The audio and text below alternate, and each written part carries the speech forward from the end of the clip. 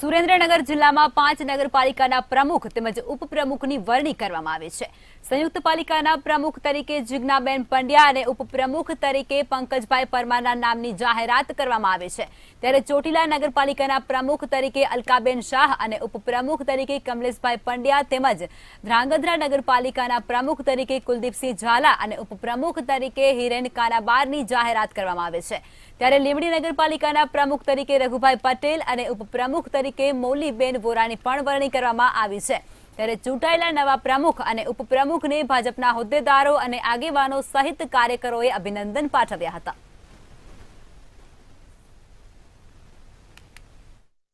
આ સુરેન્દ્રનગર દુધરેજ વઢવાણની જનતા એમની અઢી વર્ષની ટર્મથી ખૂબ ખુશ છે. ત્યારે એ ટીમના સૌ સાથી સદસ્યોને પણ હું હૃદયપૂર્વકના અભિનંદન પાઠવું છું.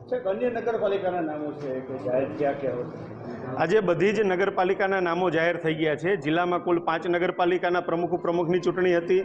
દસ તાલુકા પંચાયત અને એક જિલ્લા પંચાયત. બધા જ નામ ડિક્લેર થઈ ગયા છે. જે તે તાલુકા મથકે અને શહેરી મથકે અમારા પાર્ટીના પદાધિકારીઓ મેન્ડેટ લઈને પહોંચી ગયા છે અને નામો પણ ડિક્લેર થઈ ગયા છે.